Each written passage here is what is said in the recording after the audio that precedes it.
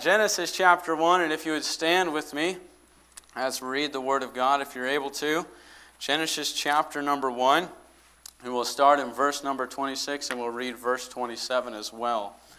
The Bible says, And God said, Let us make man in our image, after our likeness, and let them have dominion over the fish of the sea over the fowl of the air, over the cattle, and over all the earth, and over every creeping thing that creepeth upon the earth.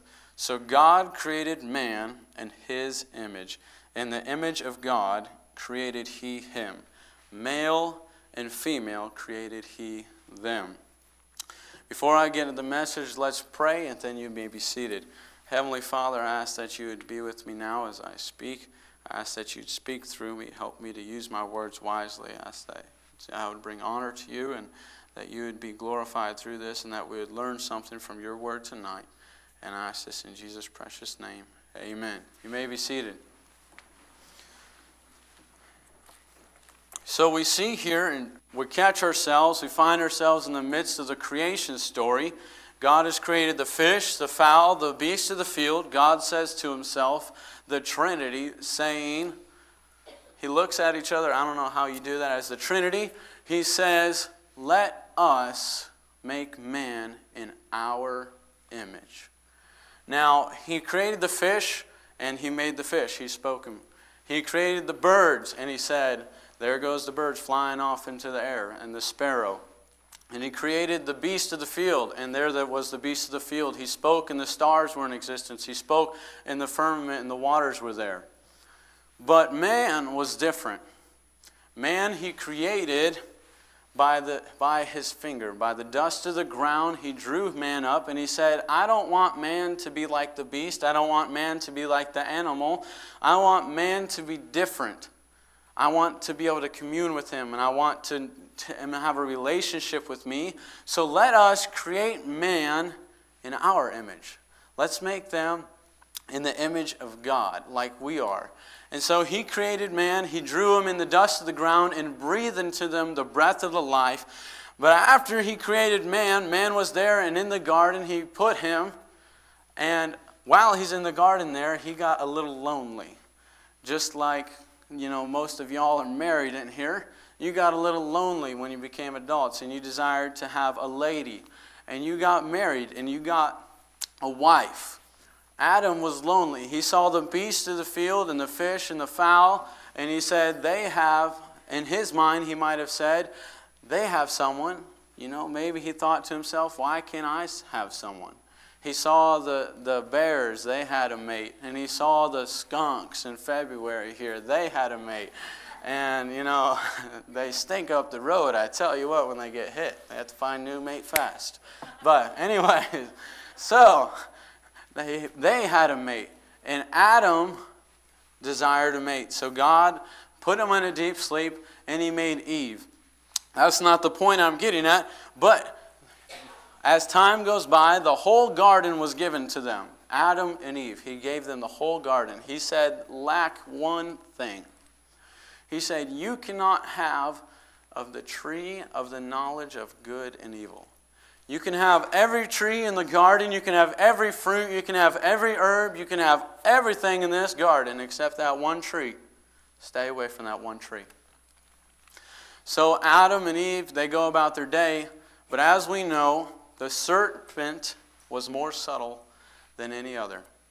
And in Genesis 3, we find that the woman gets deceived, brings to the man, and the man falls in sin as well and God cast them out of the Garden of Eden.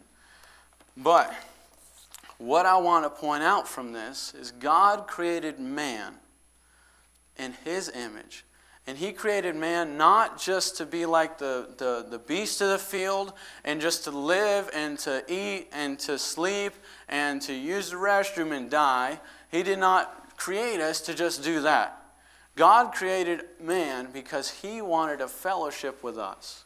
He wanted to have a relationship with man, so He created us, and He created us in His image, and He wanted to talk with us. As you see in Genesis, He goes throughout the garden. He has conversations with Adam and, and conversations with Eve. And I want to point out how God has tried to restore this relationship through the Holy Spirit, through the love of Christ, and through God's love Himself, through the Father's love. We see the Holy Spirit, the way that He tries to restore it is then the Holy Spirit is the comforter. The comforter is the promised one that is on the leaving of Jesus Christ from earth. God said, I will not leave you comfortless, and He gives us the comforter in John chapter 14, verse number 16. If you take your Bibles there, go over to John chapter 14, verse number 16. It says, John 14, 16, and I will give, and I will pray the Father, and He shall give you another comforter that, ye may ab- that he may abide with you forever. Even the Spirit of truth, whom the world cannot receive, because it seeth him not, neither knoweth him, but ye know him, for he dwelleth with you and shall be in you. So we know that upon salvation we get the Holy Spirit. The Holy Spirit indwells us, and that Holy Spirit, in the biblical comparison in the relationships of family, has always been the wife. Because, guys, we know we cannot comfort no one. we are hard headed and hard hearted sometimes. And, mom, if you scraped your knee at home and you hurt yourself, was dad going to be the one running to you? No. It was going to be mom, right? And the Holy Spirit has always been that, that woman, not the woman, he's not a female, he's not a woman, but he's been that, that, that compassionate, type, as in the family, the male is the head, like Christ is the head of the church, but the female has always been the Holy Spirit in the home. You know, the one that keeps the peace, you know, that keeps your kids from killing each other and keeps, you know, dad from killing the kids, wanting to spank him and, you know, all that kinds of stuff. So, he is the comforter. But he's not only the comforter, in John chapter 14, verse number 26, God gave the Holy Spirit to us to comfort and to help us grow closer to God the Father.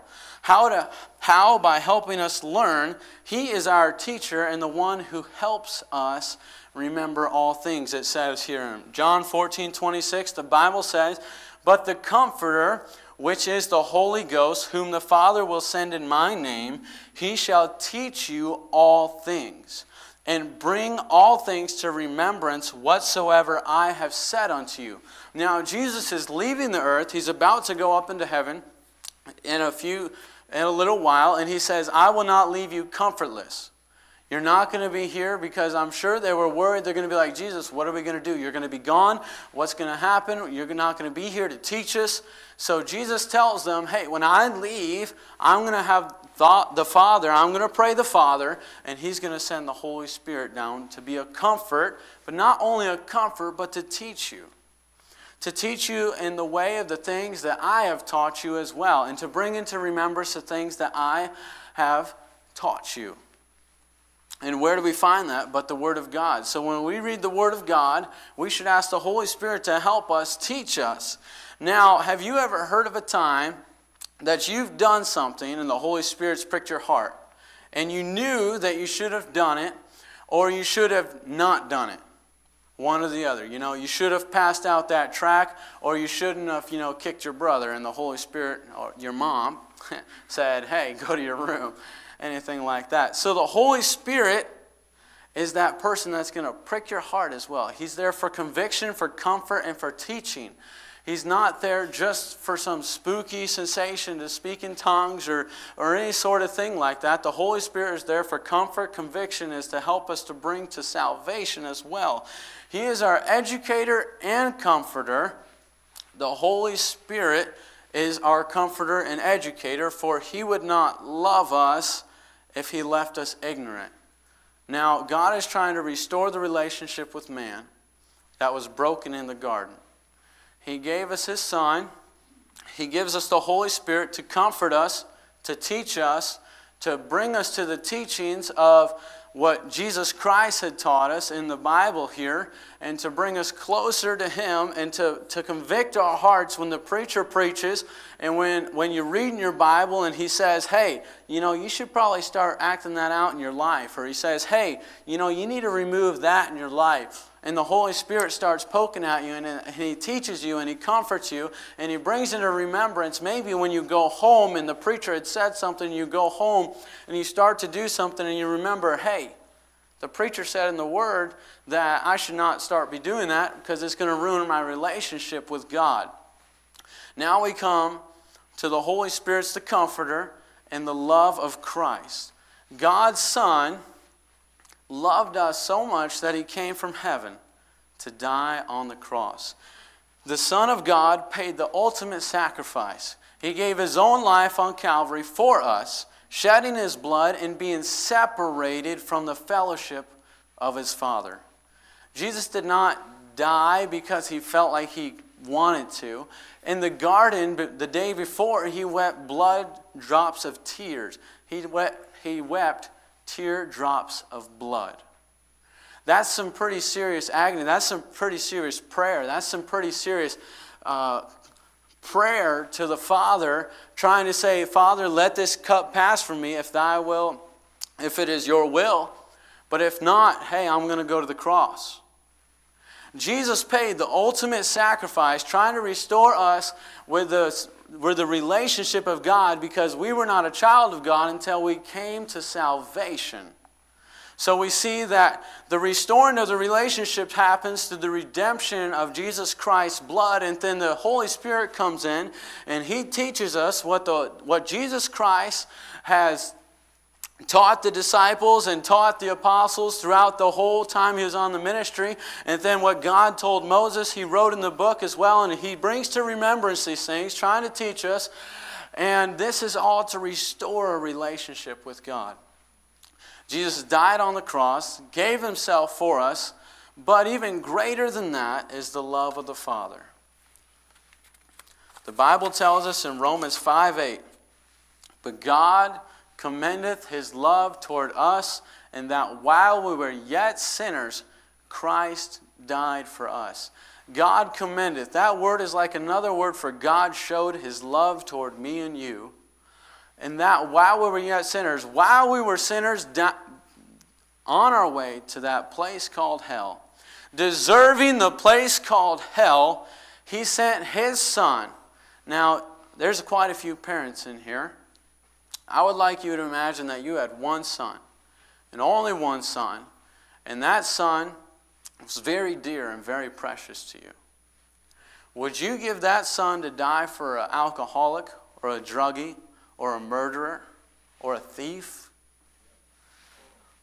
God loved us so much, He gave His Son to die for us so we could have that relationship back with Him like we had in the garden when Adam was created for that relationship for, with God. We were created to show our love to God and have a relationship with God, and the devil is going to always try and distract us from that. He's always going to try and put something in the way, put something in the path. The love of the Father, we have come now to the one who is our heavenly Father. He needs not bow to any, he needs not ask bread from any.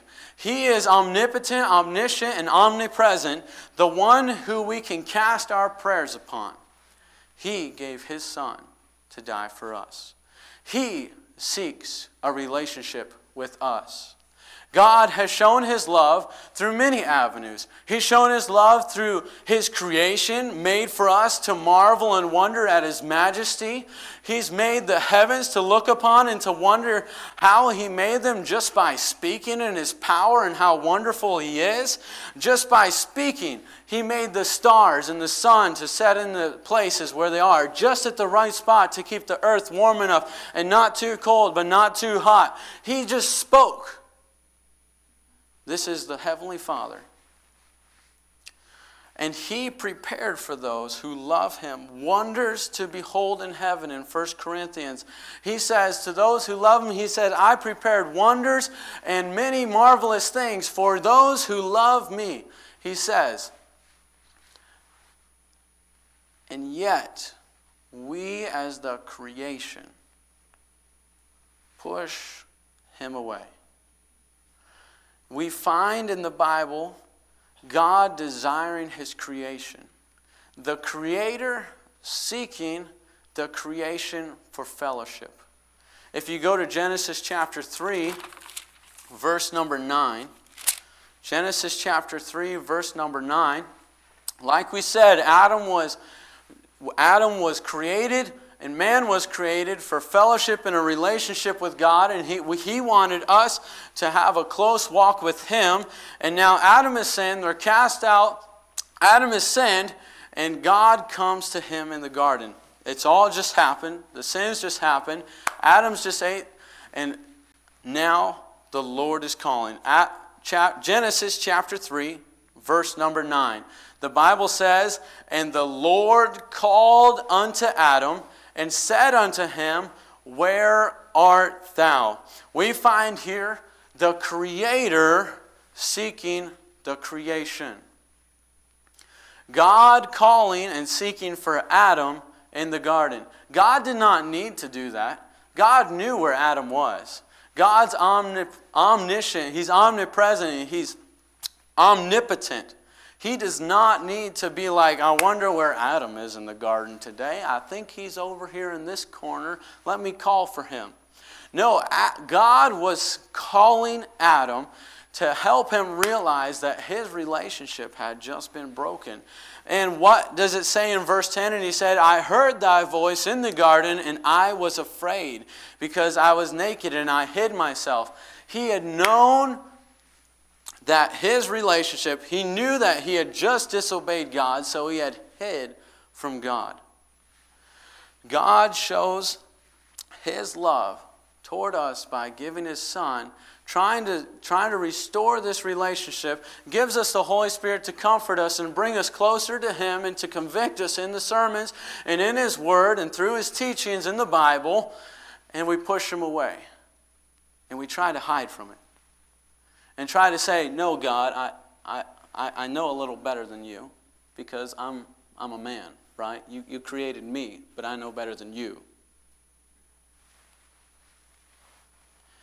This is where Adam is.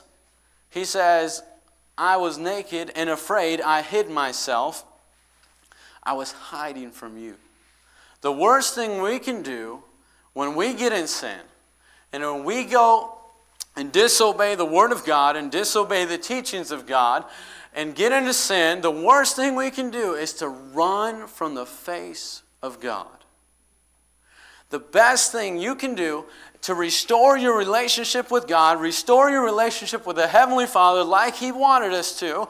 As He did in the Garden of Eden, He created us to have a relationship with Him and to walk with Him and to know Him, but then we sinned and now we're destined to hell. So He sends His Son to die on the cross for us to be the propitiation and the redemption through His blood for our sins. Then He gives us the Comforter, the Holy Spirit, to teach us and to draw us closer to God and to teach us in the way that Jesus Christ had taught His disciples disciples and apostles, and then we sin and we say, you know what?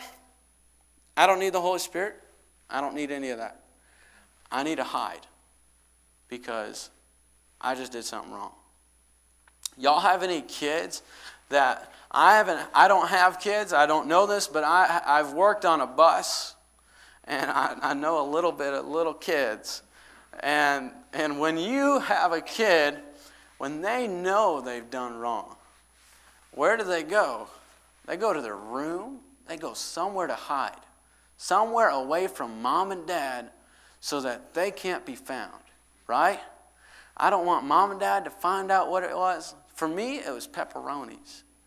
I was a pepperoni thief. I, I admit it. I'm sorry, Lord. But, anyways, and um, so that got me off track. At night, my parents would go to bed, right? They would go to sleep, and my room was here, the kitchen's in front of my room. And my parents' room is, you know, a little bit across the house a little bit.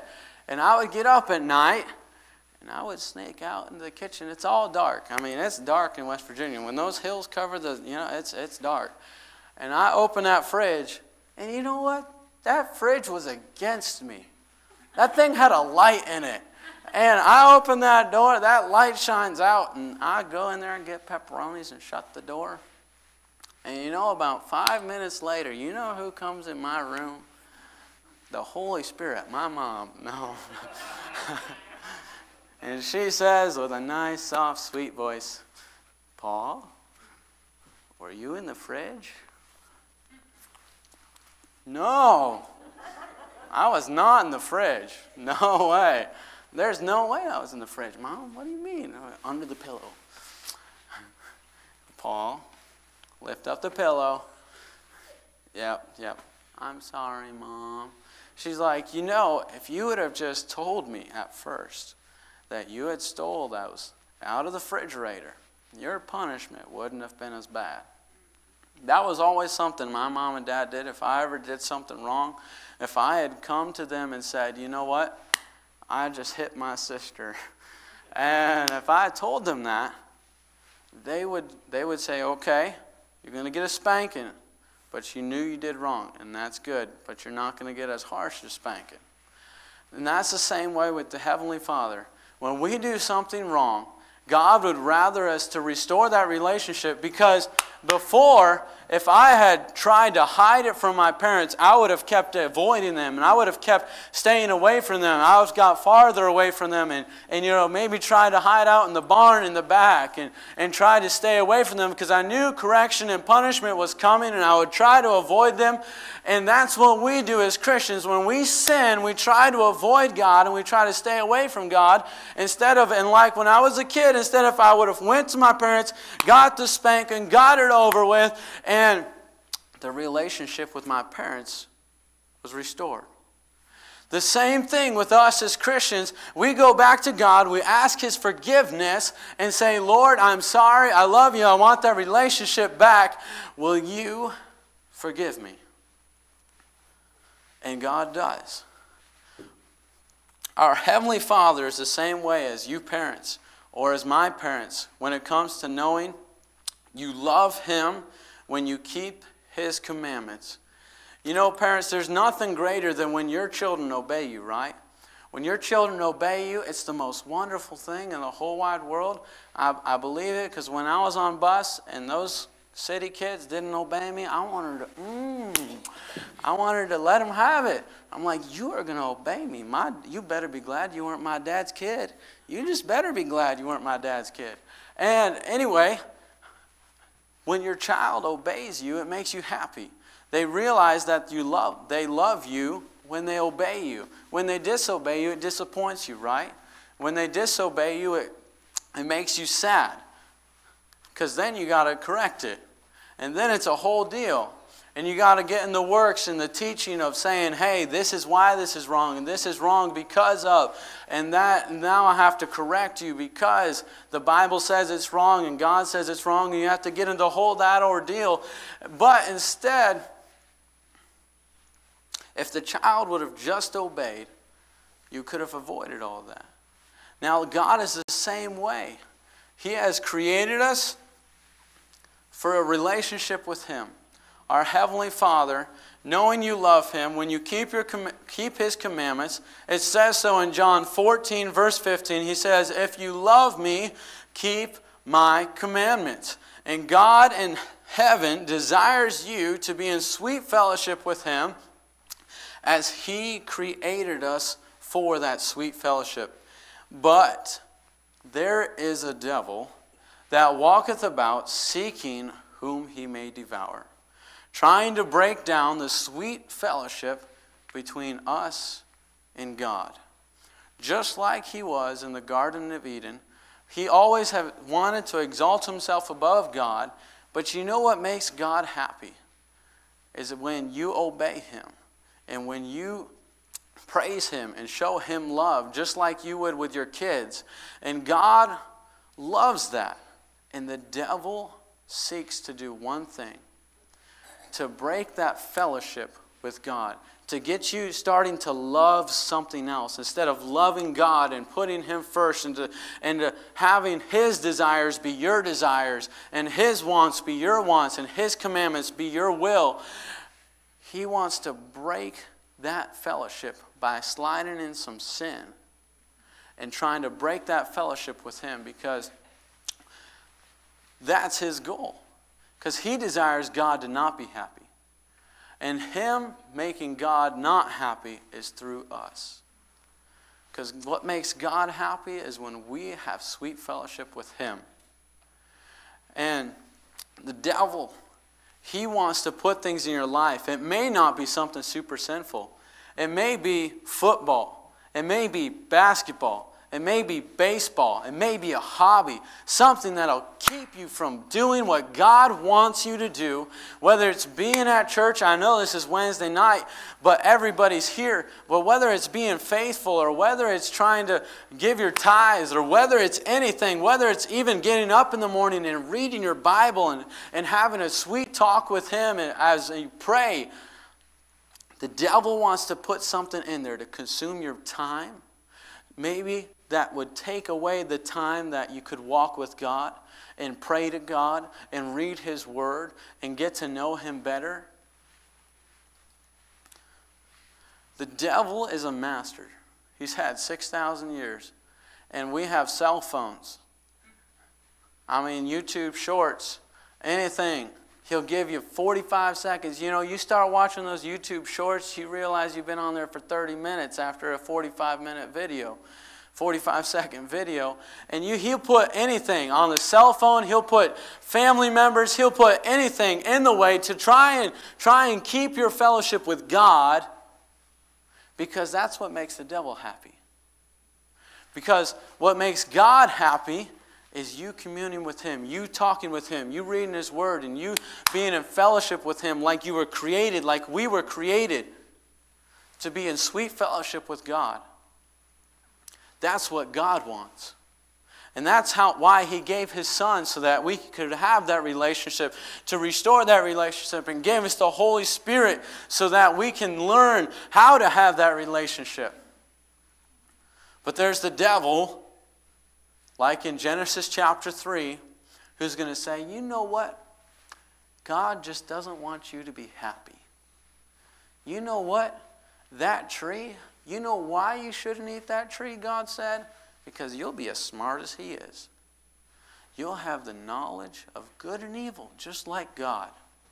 And the devil will slip in little things in our lives, here and there, a little sin, a little hobby that keeps us from worshiping and serving God, a little this. It could be even work, a little that, to keep us from our relationship with our Father. I had a bus kid come up to me one day after was Sunday school, and I'm getting ready to close. I had a bus kid come up to me one day and he asked me, he said, Brother Paul, why did God give them the perfect Garden of Eden and put a tree in there that they could mess up with? He said, That don't make sense to me. God made a perfect world, and He had a perfect man and he had everything perfect, but he put one thing in there that could mess it all up. And he made the devil. Why did he make the devil, God, Brother Paul? Why did he make the devil? And I told him, and I'm not nobody smart, but I realized that God wants us to choose to obey him and choose to love him. Because if we you know, AI and robots is all a thing. If they do everything you commanded, you don't feel no love from your cell phone. You don't feel no love from a robot. But when your child chooses to please you, boy, that makes your heart swell up. Boy, that makes you happy, right? The same with God. He wanted us to choose Him over everything else. He wants us to choose Him over anything else. Choose Him and a walk with Him and a sweet fellowship with Him like we were created for so that He can be happy and He knows that we love Him because He first loved us. This is what we were created for. God created us so that we would have a sweet relationship with Him heads bowed, eyes closed. Heavenly Father, I ask that you would be with us as we go in to the invitation now. Lord, I ask that you would be with me as well as I'm learning and I'm growing as well. I ask that you would help me to realize that what you really want is a relationship with me and a relationship of, of me desiring you as well. Now, with heads bowed and eyes closed, as the piano plays, you can come to the altar. Is there something keeping you from a relationship with God? Is there something keeping you from sweet fellowship with God?